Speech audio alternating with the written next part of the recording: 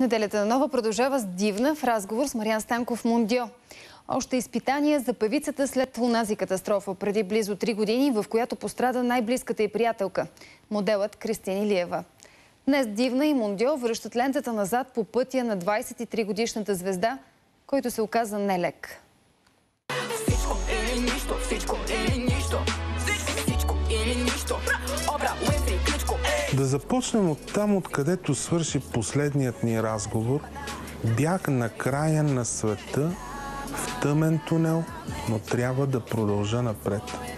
Днес почти три години след онази катастрофа, която промени живота ти. Коя си ти?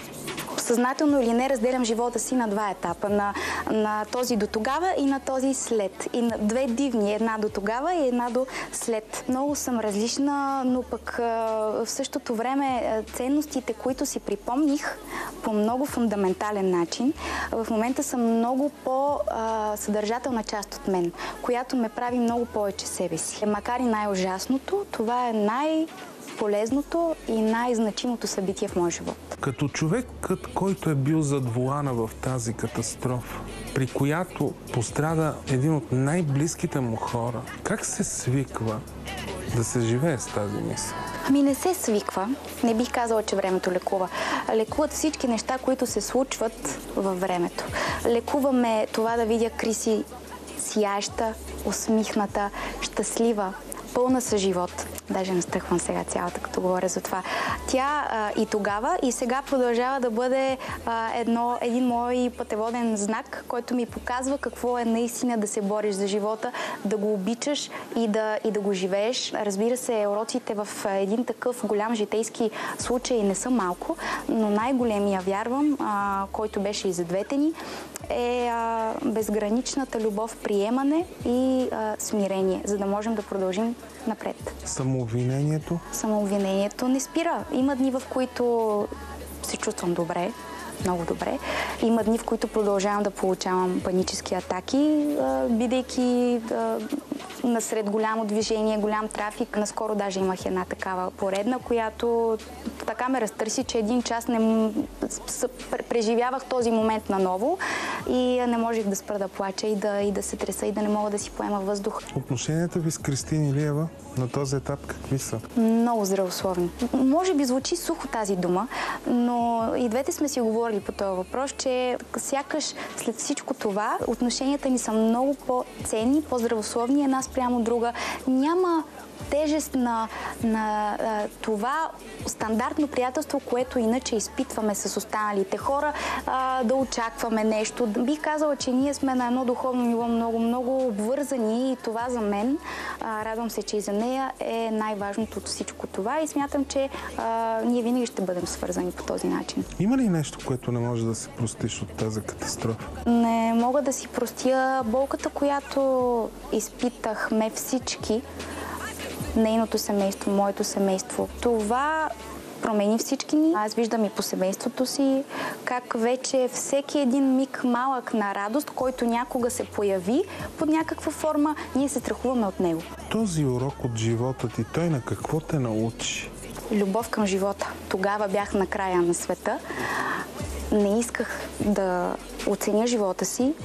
Ето това пея и в новата си песен напред. Отивам към бездната, онази най-черната, тази, която те хваща за гушата и носите сушата.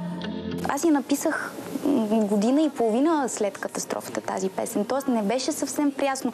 Емоциите, които в началото изпитвах, бяха далеч, далеч по-всепоглъщащи, мрачни, необясними, нечовешки, дори бих казала. Но в тази песен аз след време, продължавайки да се боря с последствията от чувството си на вина, от, от тревогата, от страха, исках да събера всичко, което знам, че много хора по цял свят, особено в, днешното, в днешната продължаваща ситуация, защото тя стана една безконечна дълга трагедия, пандемията с COVID, всички го изпитват. Всеки един от нас в даден момент от живота си се почувствал изгубен, почувствал се а, недостоен, почувствал се... Сяка живота му няма никакъв смисъл. Няма светлина пред мен, вплен съм и на този ден. Просто да спре всичко се моля, не търси спасение. Тази песен е наистина моята молитва за това, че животът продължава. Наистина за крехките си 23 години имам страхотни контрасти в живота си, като преживявания и като уроци, и като, като неща, които са ми подали пълната палитра на живота. Та, точно заради това твърдя, че душата е това, към което трябва да се стремим. Нашата емоционална интелигентност, нашето разбиране за това, че всички ние сме едно цяло, че всички ние сме със същата божествена частица, която ни кара да дишаме, да говорим, да бъдем това, което сме. В времена, в които агресията, иронични, цинични текстове и в един момент се появява дивна балада, има ли място за това нещо в нашето общество? Фактът, че песента получава и продължава да получава толкова голям позитивен отзвук, няма нито един негативен коментар по, по адрес на, на песента и на видеото към нея. А, и най-вече това, че всеки един коментар на хората а, е припознавам се напълно, изпитвам всичко, което ти пееш, благодаря ти за тази песен.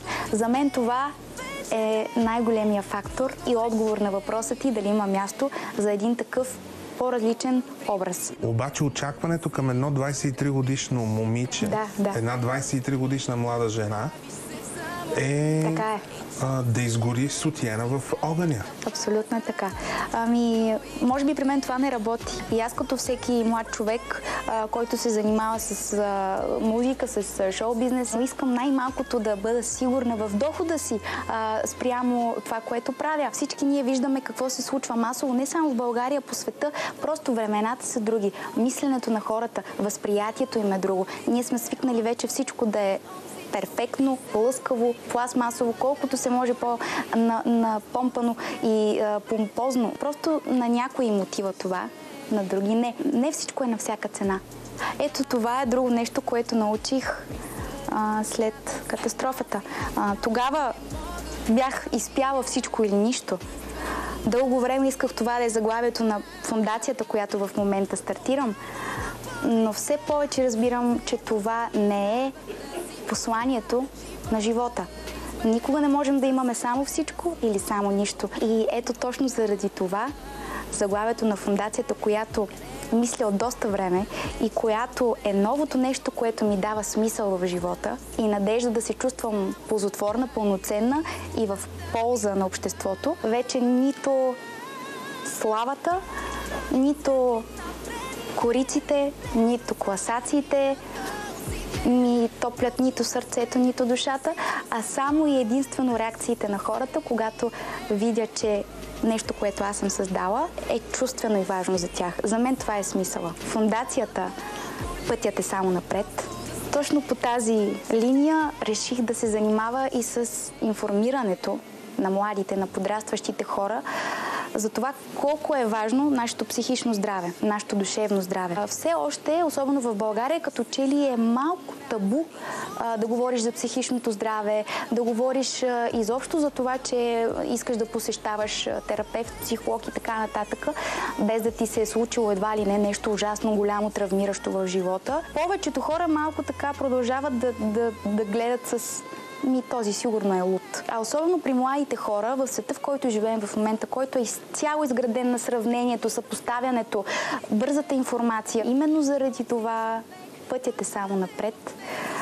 Ще се занимава с посредством раз, разкази на лични истории, на вдъхновяващи, популярни личности, които всеки сам по себе си е минал през своята трудна житейска драма а, и е успял да премине отвъд по въображаемия мост, да разказва, да вдъхновява и да дава пример на младите, на тинейджерите, на, на хората до 30 годишна възраст за това, че в тази съвременна джунгла, в която живеем ние, винаги има начин, но трябва да се храним човешкото в себе си, да се стремим да го обичаме и да се приемаме, да приемаме и останалите.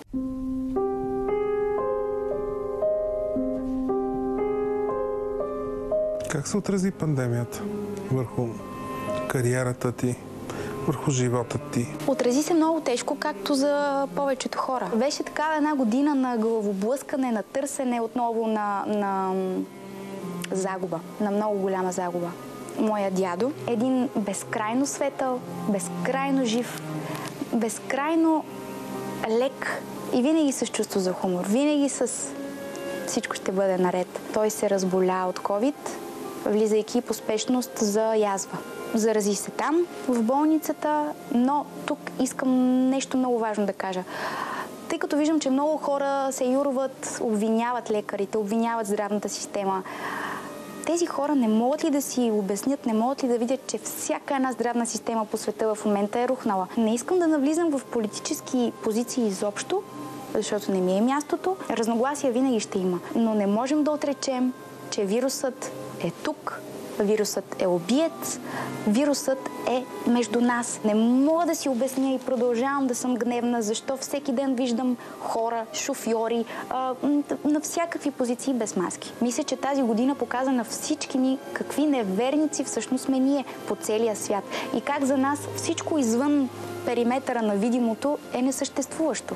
В момента, в който аз написах на майка ми, имам много силно усещане, че трудното мина и че дядо ще е добре. И тя ми каза аз също. И, в, и на, други, на другата сутрин, когато се обадиха, разбрахме, че всъщност той по същото време е починал в следствие на осложнения от, от, от COVID. Здрав човек, без придружаващи заболявания, пазеше се много, нито е бил и ето, отново в един такъв момент разбираме живота колко е мимолетен. Моята музика е твоя ум, моята музика принцип съм човек, който не обича пълното внимание, не обича прожектори. А, в ежедневието ми дори бихте ме видяли, ако примерно в една улица пешеходна вървят много хора, аз бих била по в, в ъгълчето, там където не бих се забелязала толкова много. Все не искам да преча, все не искам да си набивам на очи, но не и когато съм на сцената. Сцената е може би мястото, на което аз винаги съм била у дома. Разбира се, когато ми е било много тежко в едни такива периоди, съм се страхувала от сцената. Страхувала съм се да изляза отново, да се покажа, мислейки си, че никога вече няма да бъда същата. Но въпреки всичко, музиката и сцената са били това, което са ме спасявали в всеки един момент от живота ми. Много ми е трудно да балансирам между човека дивна и между артиста дивна. Защото те колкото са едно, толкова са и две крайности на, на едно цяло. Критиката как я приемаш? Приемам я. Винаги я приемам. Приемаш я. Приемам я. Защото За какво ти пука обаче? пука ми за мнението на хора, които знам, че наистина са с мен, наистина вярват в това, което правя. Има разлика от критика до критика. Е. Ти сам знаеш. Това исках да те питам. Коя е сам знаеш. най-неоснователната критика към теб в последните години?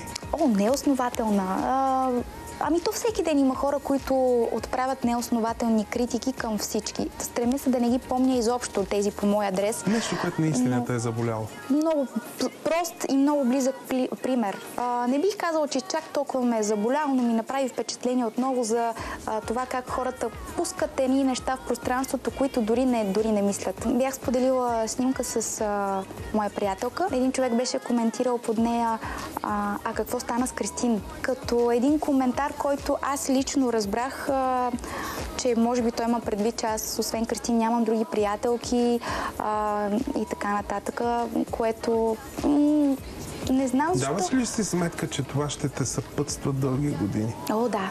Дала съм си от ден едно. Това е част от моя начин да се справя с това да мога да продължа напред. Да се справя с вината, да се справя с срама, с чувството на не, не, недостойно съществуване. Може би имаше такива моменти, разбира се, в които съм се чувствала по този начин. Не живея в облаците, помня всичко, което е част от мен и се стремя да просто да го правя по-светло и по-леко. Давам себе си нещо отгоре. Няма как друг да говори.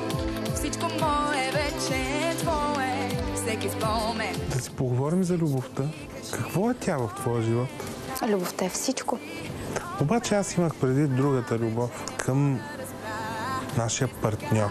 към нашия партньор. Какво научи за нея ти? Продължавам да уча много. Аз а, смятам, че те първа имам какво? Научих в последните години истинското значение на думата компромис. Може би не компромис, по-скоро истинското разбиране един друг. А, за това колко е важно да говорим, наистина да говорим и да слушаме, да чуваме това, което човека от среща ни казва. Това въжи за всеки един вид отношения.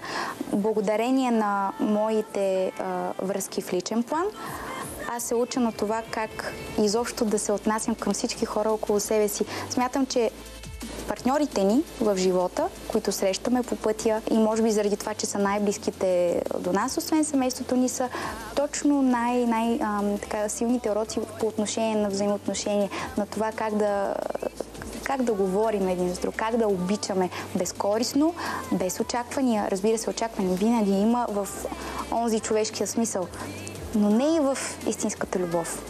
Там няма очаквания, там има приемане.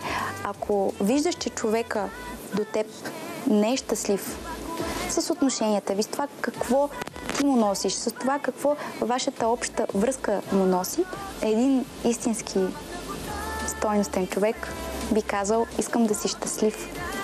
Виждам, че това не е да си с мен. В момента официално сама ли си?